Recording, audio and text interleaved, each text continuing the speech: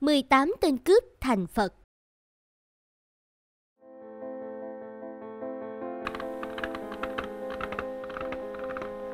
Chạy mau, chạy mau Bọn cướp tới rồi, chạy mau Chuyện rằng ở một vùng nọ có một băng cướp nổi tiếng là hung dữ và tàn bạo. Chúng có 18 tên tá túc ở trong một khu rừng cạnh một ngôi làng trù phú. Cứ thỉnh thoảng chúng lại vào làng để cướp bóc. Chúng đi tới đâu, người dân kinh hãi tới đó. Cũng trong một ngôi làng gần đó, có một người đàn ông giàu có đức hạnh. Ông nuôi được một con ngựa đẹp nhất trong xứ. Đặc biệt hơn là con ngựa biết nói tiếng người và đoán được cả việc tương lai. Người nhà giàu chăm nom thương mến con ngựa như tình cha đối với con. Một hôm, Ngày mai sẽ có một bọn cướp 18 tên đến đánh nhà này để lấy của đó ông chủ ạ. à, trời ơi, vậy ta phải làm sao đây? Ông chủ cứ bình tĩnh, con đã có cách đối phó rồi. Ông hãy cho mổ lợn rồi quay lên, dọn ra cùng với xôi, các thức ăn cùng 18 vò rượu. Đợi đến giờ tí, ông đi đón bọn cướp tụ họp ở ngã tư, mời họ về nhà ăn uống. Họ sẽ nhận lời mời và không làm hại gì ông đâu. Ờ, ta sẽ làm theo lời ngựa nói. Chúng ta chuẩn bị lên đường. Hôm nay chúng ta sẽ tới cướp một gia đình giàu có bậc nhất của làng này. Không biết nếu ta ra mời, chúng có giết ta không? Nhưng ngựa đã nói rồi, chúng sẽ không làm gì ta đâu. Từ trước tới nay, ngựa của ta luôn nói đúng. Ta phải nghe lời ngựa. Ờ, Ở đây các chú, các chú vội đi đâu thế? Tôi có một lời mời. Có việc gì thế ông già kia? Ờ, ờ tôi muốn ờ, mời các chú tới nhà tôi ăn cơm. Tiệc đã bày sẵn để mời các chú rồi. Đây chính là lão nhà giàu mà chúng ta dự định tới cướp ngày hôm nay mà. Thôi được, đằng nào chúng ta cũng định tới nhà hắn. Cứ tới xem sao. Đi thôi anh em.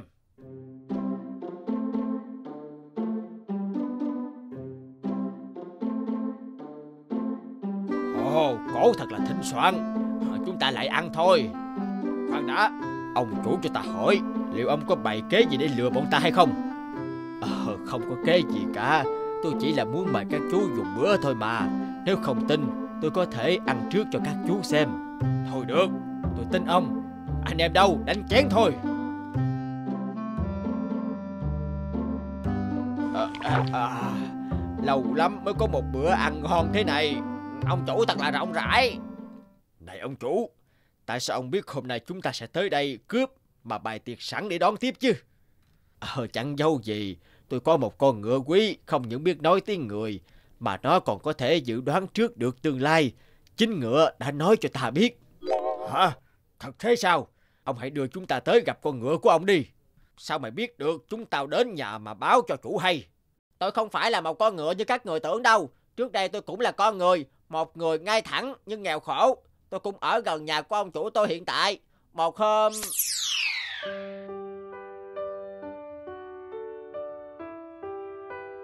Chỗ tiền này không đủ mua thuốc cho mẹ. Mấy ngày nay mẹ ốm nặng quá Mà không có thuốc. Hay là... Cậu hãy cầm tiền về lo cho mẹ, Đừng suy nghĩ gì cả. Bao giờ có thì trả cũng được. Đa tạ ông. Con hứa sẽ làm lụng để trả nợ cho ông sớm ạ. À. Sau đó, mặc dù ông chủ không đòi, Nhưng tôi luôn cố gắng làm lụng để trả nợ cho ông chủ tôi, Như lời đã hứa. Thế nhưng, một hôm đang mãi làm thì Một lần vào rừng kiếm củi, Không may tôi bị rắn cắn và chết xuống dưới âm phủ tôi gặp Diêm Vương. Bẩm Diêm Vương Ông chủ của con rất nhân từ Đã cho con vay tiền lúc con túng thiếu. Ân đức này con chưa trả xong Mong Diêm Vương cho con được sống Để làm lụng trả đủ số tiền đã vay của ông chủ. Nếu không con chết cũng không nhắm mắt được ạ. À. ừ, Ngươi là người ngay thật. Ta sẽ cho ngươi trở lại Trần gian để trả nợ nốt. Nhưng ngươi không thể trở lại với hình hài này được.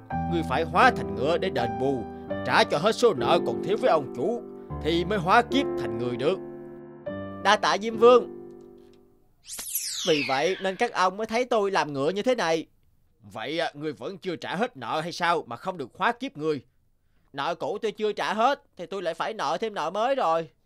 Ờ, ngươi lại vay tiền ông chủ nữa hả? Ngươi làm ngựa rồi thì còn vay tiền làm gì?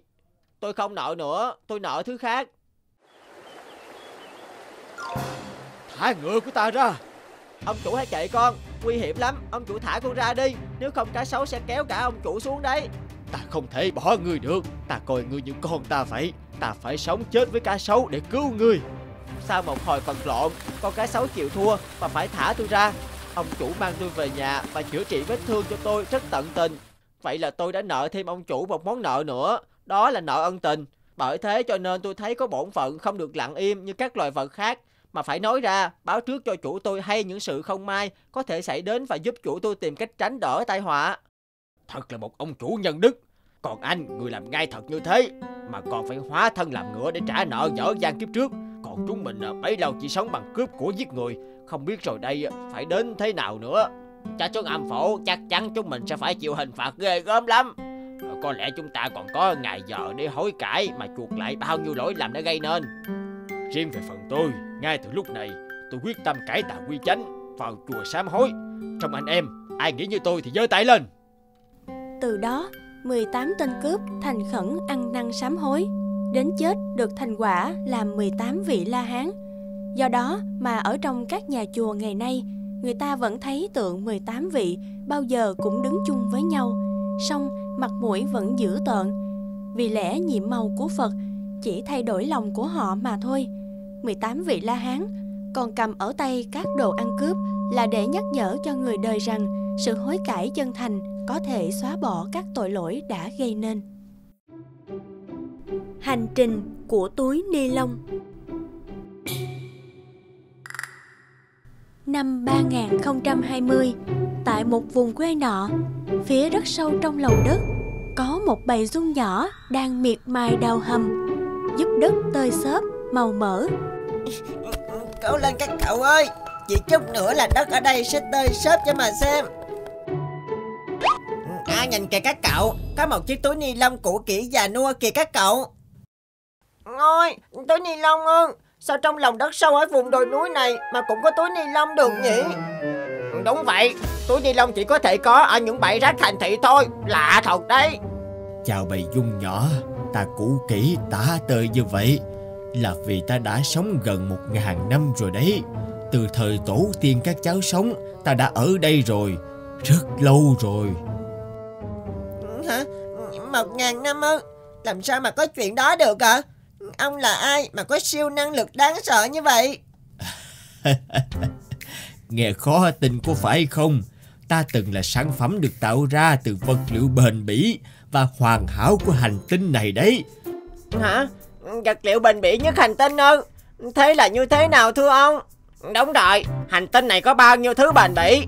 Ông là gì mà tự cho mình là bền bỉ nhất chứ? Chuyện đã từ rất lâu rồi Hồi đó, cách đây hơn một ngàn năm Lúc đó thì ta là một sản phẩm mới vừa được đưa ra khỏi dây chuyền sản xuất Ta cũng được vị trưởng phòng kinh doanh đem làm sản phẩm mẫu để trình giới thiệu với tổng giám đốc tập đoàn bao bì quốc tế toàn cầu. Chúng ta có một chất liệu bền bỉ cao để sản xuất ra những chiếc túi ni lông tiện lợi nhất hành tinh. Đây chắc chắn là món đầu tư tốt nhất cho kinh doanh đấy.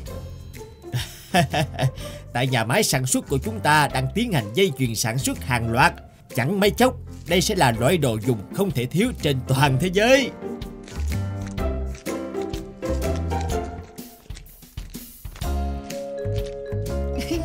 Này các cậu, Thế vừa nghe ông giám đốc nói rằng chúng ta chính là những sản phẩm hoàn hảo, được sản sinh ra từ chất liệu bền bỉ nhất thế giới đấy. Ôi, thật thế cơ à. Đúng rồi, chúng ta có nhiều lợi ích với con người nên sắp được mang đi phân phối toàn thế giới nữa đấy nhé. Hy vọng tôi sẽ được chu du khắp thiên hạ rộng lớn này.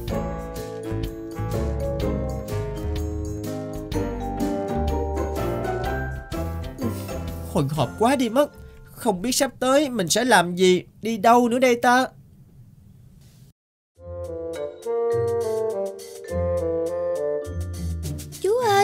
Con một chai nước cam nhé. ừ, lấy đi cháu. Đã đến lúc mình phải làm việc của mình rồi. Tạm biệt các bạn.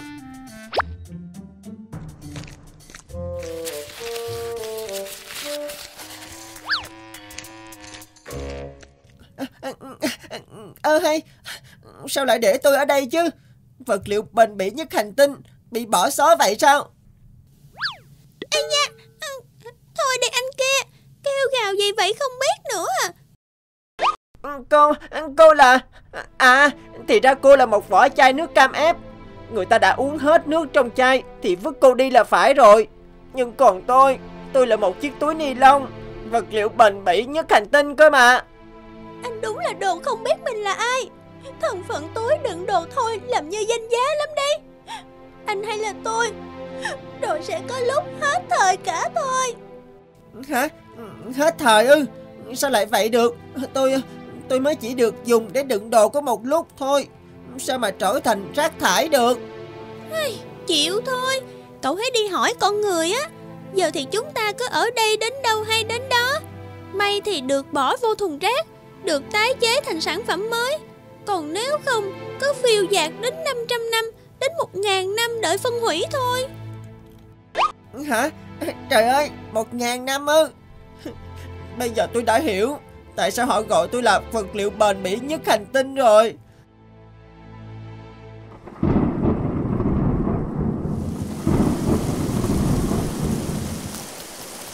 Ê, da, Ôi, không, có ai cứu tôi với. Đây, đây là đâu vậy? Này người anh em, đừng sợ Đây là dưới ống cống Chúng ta chỉ mới bắt đầu vào chuỗi hành trình của rác thải lang thang thôi À, nè, rồi chúng ta sẽ ở mãi dưới này hay sao? Chỗ này bẩn thỉu và hôi thối quá à. Ôi trời ơi, chúng ta là rác bỏ đi đấy anh bạn ạ à. Còn quan tâm gì mấy chuyện đấy nữa Ôi, Tắt cống rồi, dưới này bí bách, hôi thối quá à À, mưa một xíu là lại ngập cả rồi. Khát chèn hết cả đường ống cống, không thông ra thì có ngập suốt mấy ngày ấy chứ.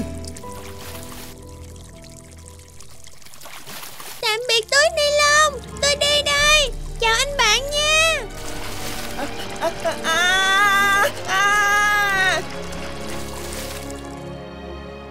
Các cậu ơi, đây là đâu vậy?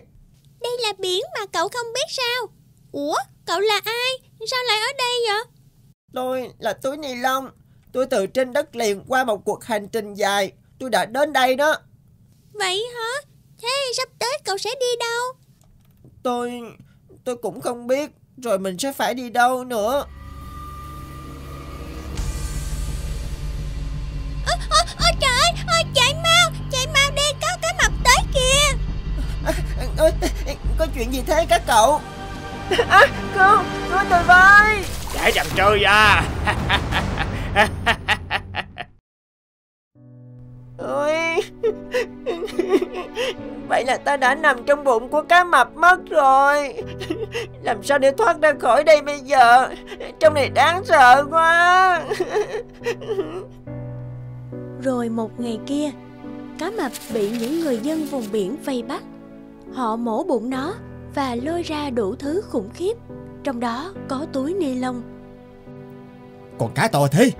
Con cá này không bị bắt được sớm Thì cũng chết dưới đáy biển thôi. Bao nhiêu túi ni lông, Chai vỏ nhựa trong ruột nó thế này cơ mà. Đấy, Rồi ta cứ trôi dạt khắp nơi, Rồi dạt về ở đây. Qua nghìn năm nắng gió cát bụi, Vùi ta xuống sâu dưới lòng đất này. Từ ngày vùi trong đất, Ta nằm bất động, Cô đơn, Và không có một sinh vật nào muốn chạm tới. Những rễ cây vì ta mà chết ngạt đất cũng biến đổi dòng nước chảy qua cũng cuốn theo một ít hạt nhựa trong ta đi mất. Ừ, nếu vậy ông có muốn chúng cháu giúp ông lên mặt đất không? Với tài đào bới của chúng cháu hợp sức lại chắc chắn sẽ thành công đấy ông ạ. Các cháu đúng là những đứa trẻ tốt bụng nhưng chắc mọi chuyện lại cứ thế lặp lại. Rồi nổi nay đây mai đó bản thân ta cũng chẳng vui vẻ gì. Cứ để ta nằm ở đây chờ đến ngày được phân hủy sống đến một ngàn năm thì dài thật đấy. Nhưng nó sẽ chẳng có ý nghĩa gì nếu không có ích cho cuộc sống này. Hả? Một ngàn năm tuổi nhưng chẳng khác gì người bất tử ông nhỉ? Ừ người bất tử bất đắc dĩ. Ta thật ngưỡng mộ cuộc đời thầm lặng mà vĩ đại của các cháu. Giúp đất tơi xốp cây xanh tươi tốt giá mà không có những chiếc túi ni lông như ta lòng đất cũng như môi trường đã không bị tàn phá như vậy.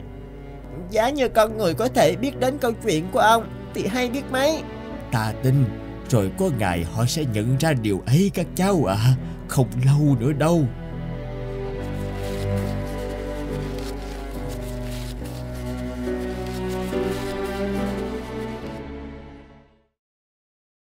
Truyền thuyết về hoa Smeraldo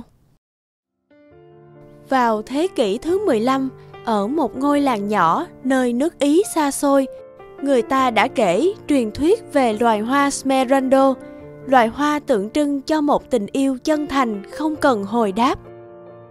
Này cháu gái, cháu định đi đâu thế?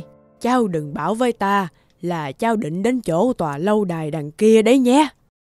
Vâng thưa bà, cháu đang định đến đó. Cháu nghe nói ở đó có những loài hoa đẹp nhất. Cháu muốn hỏi mua từ chủ lâu đài để đem bán ở chợ trong thị trấn ạ. À? Ôi không, tao khuyên cháu đừng đi đến đó. Có nhiều lời đồn về chủ lâu đài lắm. Có người bảo hắn vốn là con rơi của một bá tước ở Florence với người hầu gái. Hắn vốn là đứa trẻ bị nguyền rủa vì sinh hắn ra mà mẹ hắn đã chết. Có người còn báo à, hắn có ngoại hình xấu xí như quỷ dữ, còn rất hung ác nữa. Ở đây có ai dám lại gần chỗ đó đâu. Cháu biết, bà ơi, nhưng mà cháu vẫn cần phải đến đó. Cảm ơn bà đã nhắc cháu. cháu sẽ cẩn thận ạ. À? Ơ kìa cháu ơi,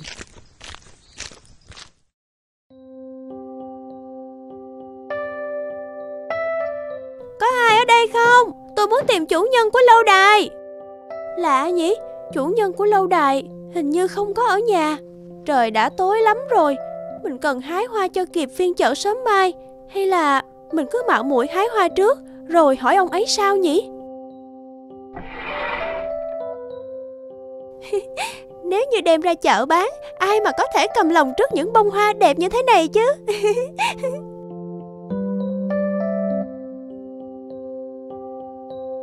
Sao lại có khách tới thăm lúc đêm hôm thế này thưa ngài? Không phải là khách mà là một tên trộm thì đúng hơn. Cô đang làm gì thế? Bà cụ mình gặp hôm nay đã nói Chủ của ngôi vườn rất hung ác Mình vào vườn hái hoa mà chưa hỏi ý kiến của ông ta. Nếu như bị bắt gặp thì chết mất. Cô ta chưa nghe chuyện về lâu đài này hay sao chứ? Thôi tha cho cô ta lần này vậy. Hôm nay mình đã dọa cô ta rồi Chắc cô ta sẽ không dám đến đây nữa đâu. Người ta vẫn đồn mình là một con quỷ Làm gì có kẻ nào vì vài bông hoa Mà mạo hiểm đến thế kia chứ? Dạ thưa ngài Cô gái hôm qua lại đến hái trộm hoa. Thật là một kẻ to gan Lần này mình phải bắt tận tay cô ta mới được. Ừ nhưng uh, Mình cũng muốn xem rốt cuộc cô ta nghĩ gì Mà lại dám tới đây ăn trộm. Hôm qua ông ta đã không đuổi theo mình. Vậy mà mình lại tiếp tục lén lút hái trộm hoa ở đây. Tôi xin lỗi Nhưng do hoàn cảnh bắt buộc Nhất định sau này tôi sẽ trả ơn cho ông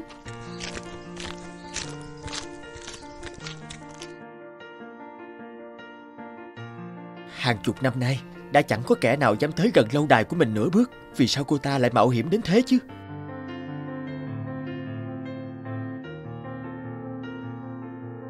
Hôm nay chị nhờ bác Bruno cho em uống thuốc. Giờ em thấy đỡ hơn chưa? Chị xin lỗi chị về muộn quá. Chị Smeraldo Chị đừng lo cho em. Sức khỏe chị cũng không tốt. Thế mà ngày nào cũng ra ngoài làm việc. Em biết bệnh em có chữa cũng không khỏi. Chị đừng cố nữa Em đừng có lo mà Chị đã tìm được một người trồng hoa rất đẹp. Người ta cũng tốt bụng lắm Bảo là hứa cho chị nợ Đến khi nào có lãi trả cũng được. Em cứ yên tâm dưỡng bệnh đi nha.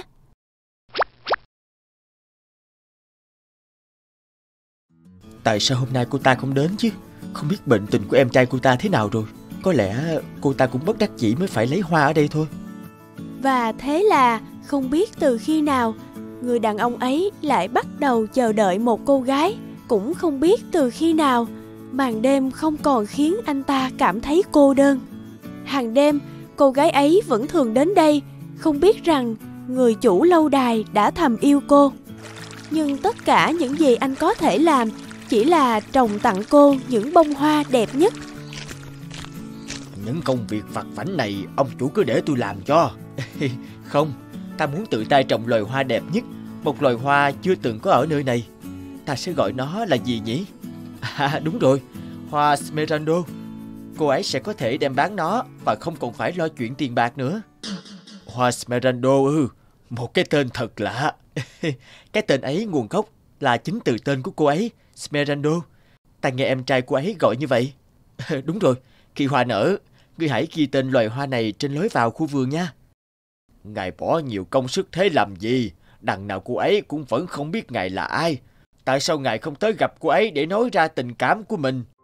Nếu cô ấy biết chủ nhân của khu vườn là một kẻ xấu xí như ta, liệu cô ấy có còn thấy nó đẹp đẽ nữa hay không? Biết đâu cô ấy cũng sẽ xa lánh nơi này, cũng như bao người khác. Tại sao đã lâu rồi, cô ấy không đến chứ? Hoa cũng sắp nở rồi. Có lẽ em trai đã khỏi bệnh nên cô ấy không đến nữa ư. Mình muốn gặp cô ấy, nhưng mình không muốn phải trải qua cảm giác bị chối bỏ thêm lần nào nữa. Không được, nếu cô ấy không tới đây nữa, mình phải tới tìm cô ấy.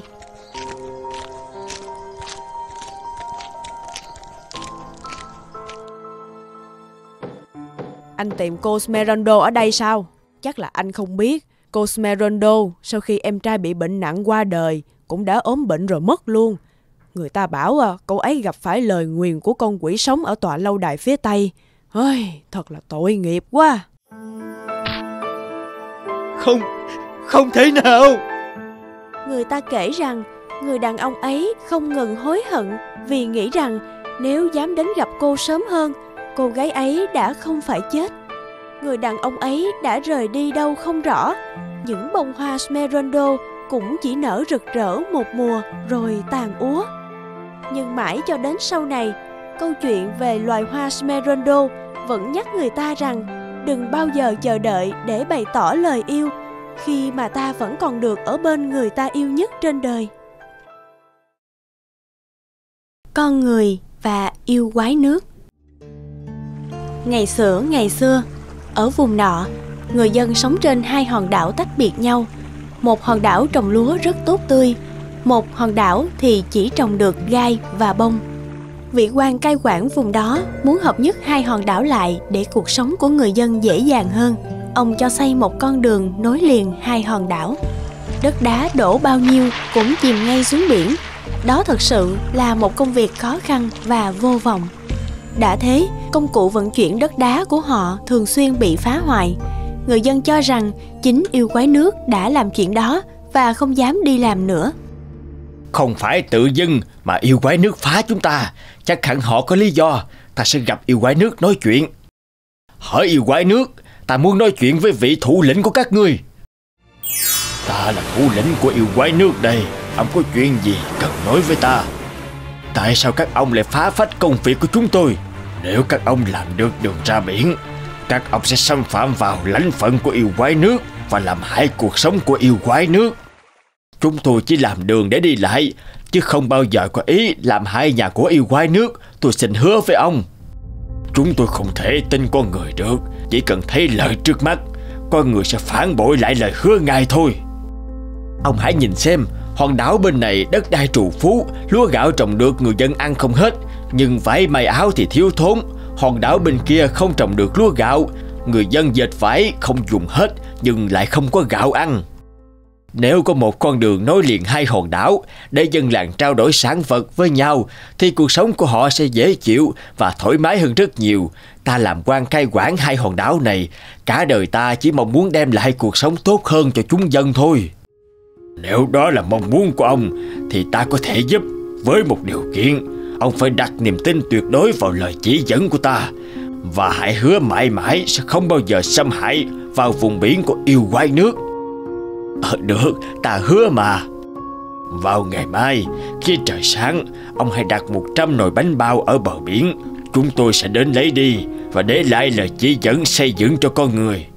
Là 100 nồi bánh bao chỉ trong một đêm ư. Nếu không làm ngay, ở e không kịp. Người đâu? Ngay trong đêm, vị quan triệu tập dân làng làm đủ 100 nồi bánh bao.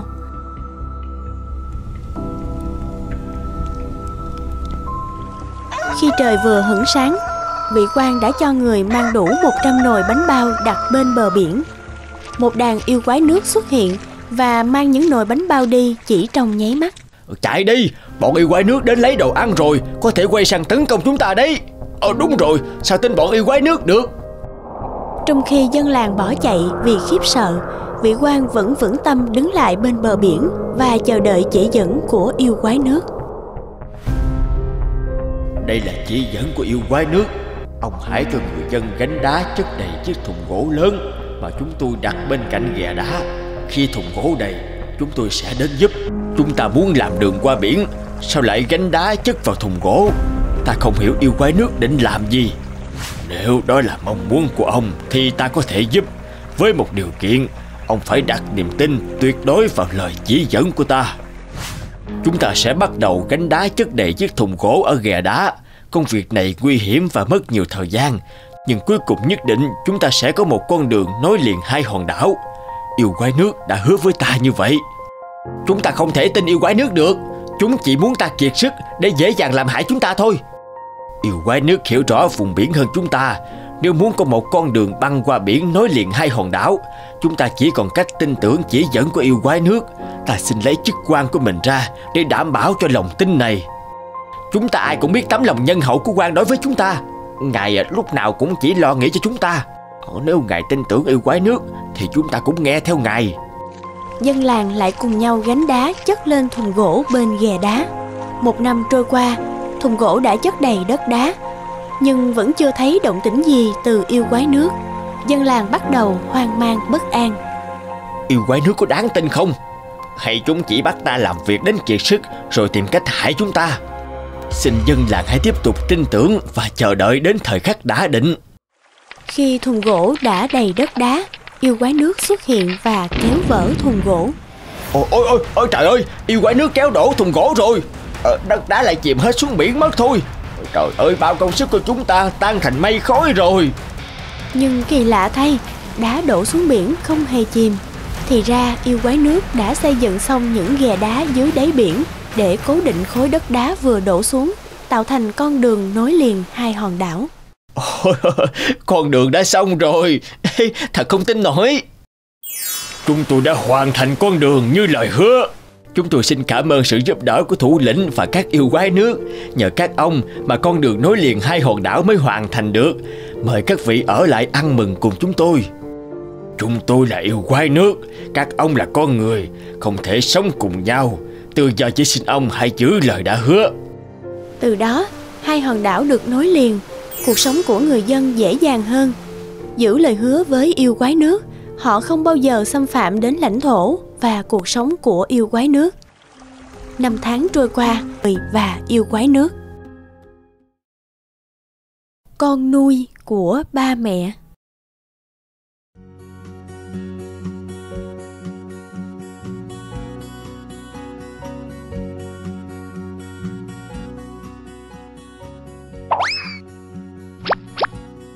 Ờ mẹ Mẹ tịch thu cái máy này. Từ giờ con không được chơi nữa. Ờ sao lại thế ạ Mẹ vừa đi họp phụ huynh về. Kỳ này con lại đứng cuối lớp. Cô giáo nói con rất lười học, lại hay nói chuyện riêng trong lớp. Mẹ sợ con sẽ không qua được kỳ thi tốt nghiệp này mất. Mẹ đã thuê gia sư cho con rồi. Từ nay tối nào cũng có người đến dạy kèm con, còn cố học đi. Gia sư ấy ạ Nhưng mà Cứ như thế đi, con đừng có nói nhiều.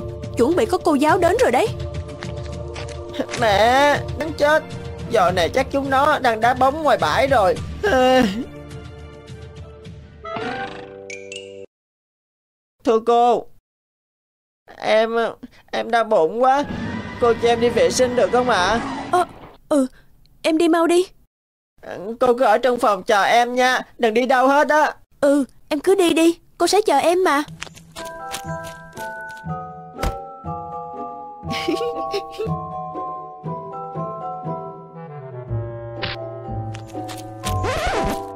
Ờ ờ ba Sao ba về sớm vậy ạ? Con giỏi quá ha.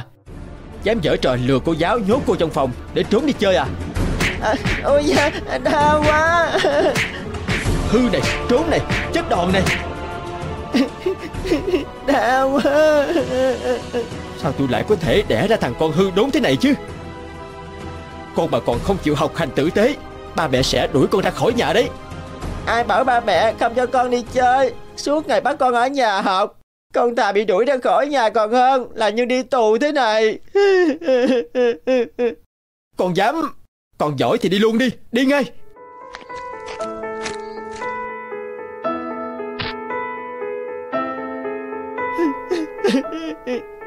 Ba mẹ chẳng ai thương mình cả. Thế thì mình còn gì níu kéo ở ngôi nhà này cơ chứ.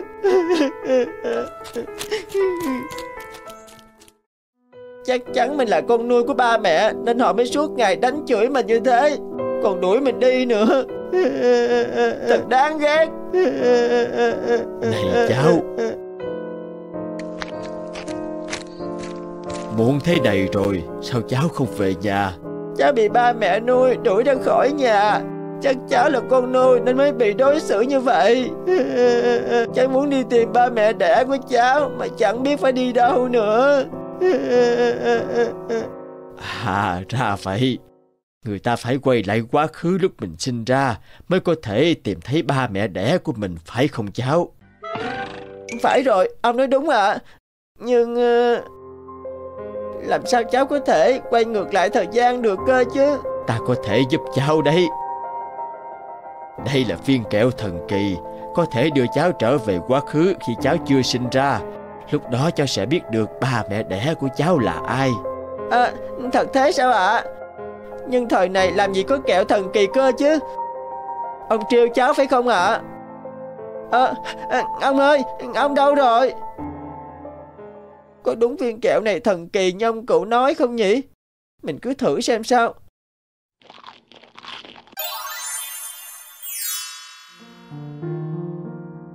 Ờ, đây là đâu? Sao mình lại ở đây? Rõ ràng mình đang ở công viên mà. Để mẹ dìu con Mẫn ơi cố lên con. Đau quá. Mẫn ư Kia là bà nội và mẹ phải không nhỉ? Bà nội ơi Mẹ ơi. Hả? Cháu là ai đây Sao lại gọi chúng ta như thế? Ừ, ờ, Bà với mẹ không nhận ra con ạ. Mẹ ơi nhanh lên! Con, con đau quá! Ờ ờ ờ Để mẹ gọi thằng Bình về.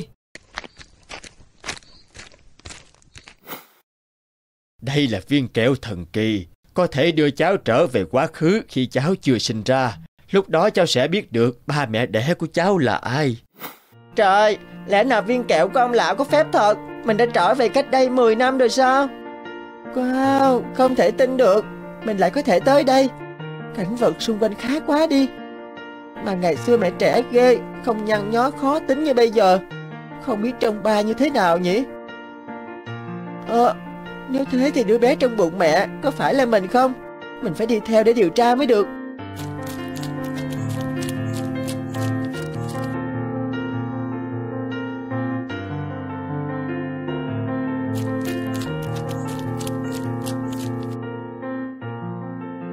Hình như mẹ đau quá Phải vào phòng cấp cứu rồi.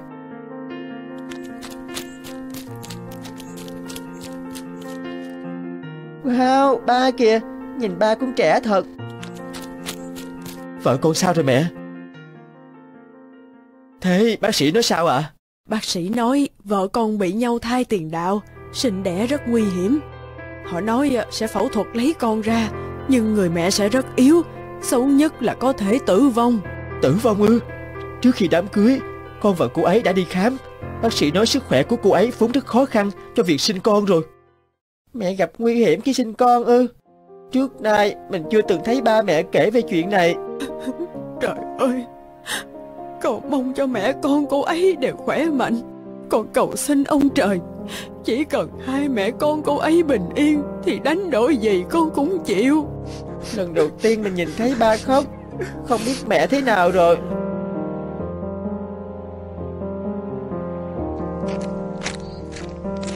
Người nhà sản phụ Lê Thị Mẫn đâu ạ? em bé nặng 2,8 kg. Chúc mừng gia đình.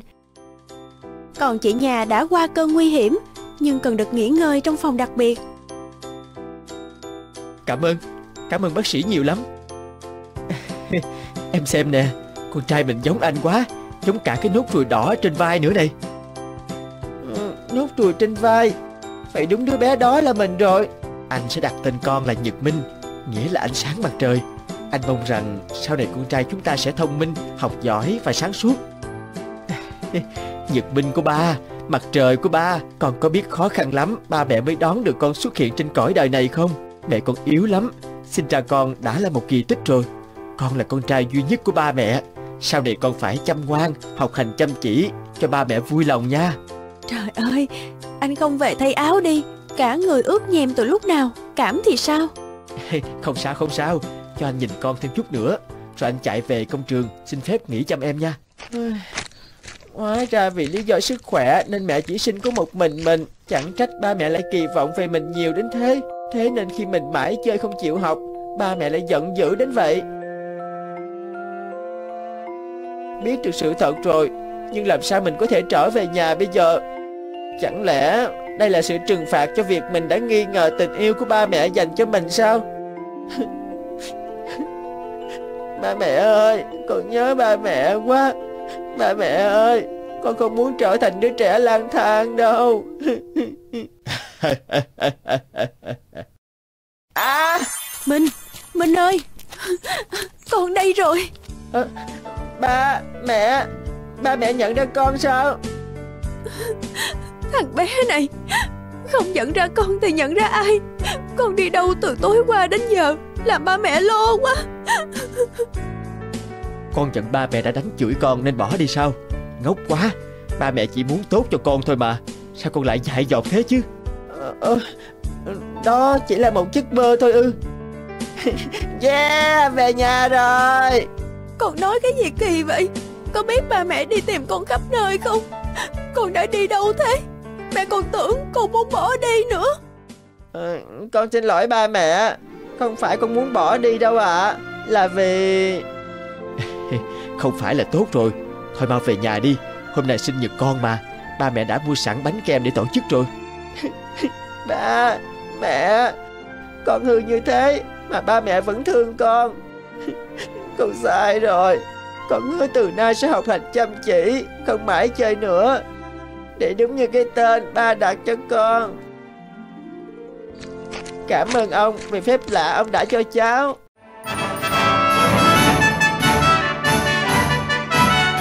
Hãy like, comment, subscribe kênh để xem thêm những video mới nhất nhé.